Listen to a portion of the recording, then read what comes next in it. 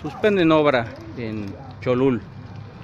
Una obra abusiva, sin permisos. El Ayuntamiento de Mérida la clausuró tras el reporte que hicimos en infoyiteras.com de esta obra aquí en la salida a la carretera que lleva de Cholul a Mérida, al periférico.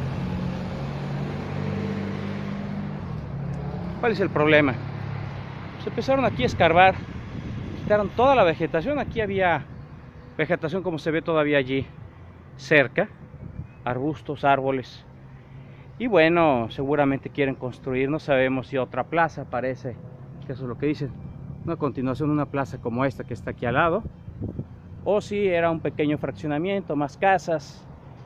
Es un terreno bastante grande.